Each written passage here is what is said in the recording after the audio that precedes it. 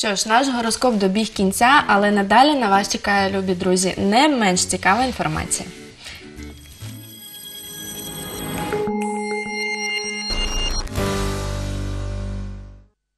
Ну що ж, а з нами зараз з нами Ігор Іваненко, реабілітолог, остеопат. І сьогодні ми будемо говорити, не уявляєте, про вплив жовчо, ну, жовчовиділення на суглоби і хребет. На суглоби Вітаємо і вас. хребет. Е, Так, Що ж, я хочу сказати, що вчора, коли готувалась до ефіру, для мене було досить несподівано, що такі е, в організмі такі органи мають зв'язок взагалі-то. Ні, все має зв'язок, але щоб так, на Е, хребет. Щоб жовч е, мала е, Вплив на хребет. вплив на опорно-руховий апарат. Як це взагалі відбувається? Ну, э, когда утром сейчас э, многие наши телезрители просыпаются и ч- ощущают хруст в суставах, да? это говорит о недостатке суставной жидкости, которая э, может быть э, плохо образовываться внутри сустава, и это связано с нарушением обмена веществ. Вот. И э, ну, такой фактор, который влияет на обмен веществ, это уровень желчевыделения. То есть у нас э, печень фильтрует э, кровь, и все шлаки должны выходить с жел- с желчью. И если э, сейчас вот у э, детей почти поголовно ставят такой диагноз дискинезия желчевыводящих путей. То есть уже даже не является диагнозом, как бы по умолчанию оно почти у всех есть. И значит, вот такие причины разные, там механические пережимы протоков или спазмы этого желчного пузыря. Ну, по разным причинам могут быть э, значит, вот эти факторы, которые влияют на задержку желчи. И это вызывает нарушение обмена веществ. И уже появляются вот эти хрусты в суставах. А изначально человек самостоятельно может спровоцировать э, дискинезию желчи- желчных путей у себя? Ну, это обычно э, происходит из-за напряжения диафрагмальных вот здесь э, мышц. И это, ну, как вот дети в школе там начинают зажиматься, посадка. зажиматься от того, что как бы их сдерживают, им надо долго сидеть. э, И ну, воспитывают их, да, и вот такие причины обычно. А как себя обезопасить? Вы говорите, вот диагноз детей уже просто по умолчанию, это не диагноз. Да. А что же делать для того, чтобы этого не было, не случалось? Да, ну и восстановить это можно всегда, в любом возрасте.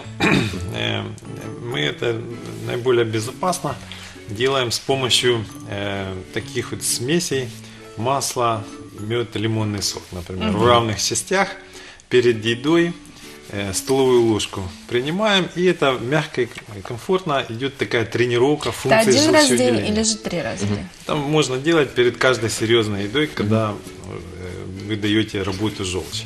Масло, мед и лимон. Да. Все в перемешку. Да, в равных частях. Допустим, по 100 грамм вы берете эти компоненты, смешиваете, и вот за 20 минут до еды принимаете.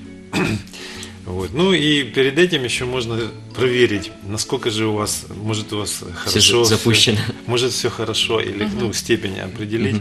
Э, Эту смесь нужно, можно выпить между едой, за 2 часа до еды, и на вот это ко- количество масла выделяется какое-то количество желчи, и желчь является слабительным, и вы должны в течение двух часов сходить э, в туалет. В места. Да. Вот. И значит, вот это такой вот есть Такую тест. смесь можно абсолютно любому человеку, или же необходимо какое-то предварительное, может быть, хотя бы минимальное обследование пройти? Ну, э- это как продукт питания. Это все, что вы салат польете маслом, э, сбрызнете лимонным соком.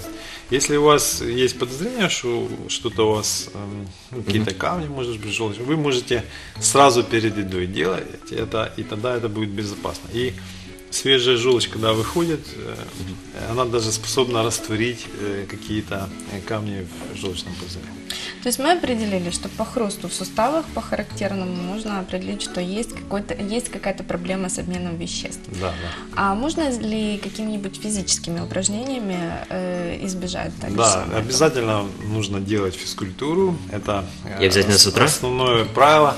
Не обязательно с утра. И можно делать в любое время, главное сделать. Вот. Ну и когда мы смотрим на причины э, глубокие вот, э, этих проблем, то важно вот восстановить правильный обмен веществ. И э, вот этот фактор желчеотделения очень важен. Он тоже влияет на работу кишечника, как идет желчь, значит, так, значит, такое состояние кишечной микрофлоры и питания. Ну, э, так, таким способом можно регулировать вот проблему запоров, да, нормально работает кишечник. И обычно вот такой рецепт он помогает э, в, в этих случаях. Вот. Ну и э, кишечник, толстый кишечник, это мы оттуда получаем все питание. Там должна быть полезная микрофлора, которая вырабатывает очень много полезных веществ, витаминов. И вот, ну, это, как бы все, есть очень многие, если не все проблемы у нас, связанные с желудочно-кишечным трактом и с всеми другими системами, зависят от ж- желчи. И все оздоровительные программы у нас начинаются с того, что мы первое это начинаем пить э, на- Таблетки, нормальное, да? нормальное количество жидкости М. сначала, а потом значит, запускаем желчевыделение. Вот. А если нет хруста в суставах, человек может, но все-таки проблема есть. По каким еще маячкам можно определить, что что-то не так? Вот. Э, ну, э, то есть, э, Есть еще какие-то характерные, может быть, э, ну, человек всегда понимает, что у него что-то не так, если есть какие-то проблемы. Ну, может быть, там скованность, боль, да, там. Но э, мы, э, если заговорим про позвоночники суставы, э, признак это подвижность, да. Если у вас э, сковывает, вы не можете наклониться, повернуть голову, то это, конечно уже, ну, острое состояние, которое требует помощи. Вот, и мы помогаем этим людям. Ну, это всегда человеку понятно, что, комфортно он себя чувствует или нет. Вот. Ну, а вот этот хруст, он часто не замечается, и как это нормально, потому что у многих это с детства и там давно. Вот. Ну и подвижность не, не, не сильно плохая, он еще, ну, как бы, комф- у кого там в 40 лет, 35 лет, уже оно со временем усугубляется, усугубляется, и приходится там уже потом обращаться за помощью серьезной.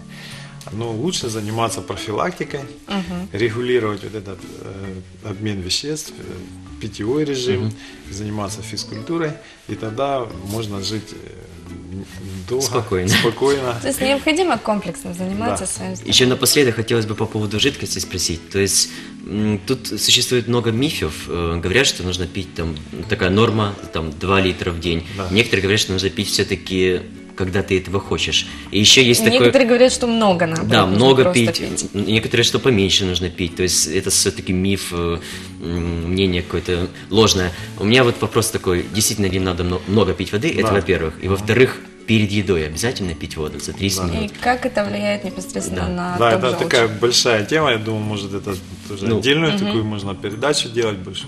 Но, так смотрите, э, клетке для физиологических процессов нужна вода. То есть вы, допустим, не сможете сварить борщ без воды. Правильно? Да.